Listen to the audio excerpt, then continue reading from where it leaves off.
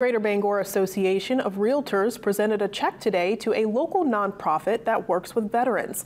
Realtors were at Jeff's Catering and Event Center in Brewer for their monthly meeting. The charity they chose for 2024 was House in the Woods. The organization in Lee provides veterans retreats to Maine's natural areas as they face challenges back home following their service. We got a nice check for over $8,700, so the monies really helps us, enables for veterans to come to House in the Woods for free.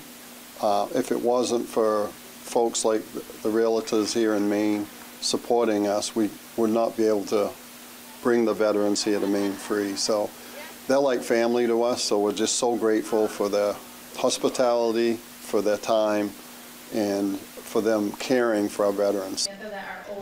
The Realtors Group says it's happy to assist the mission of House in the Woods and that it reflects their commitment to support those who have served our nation.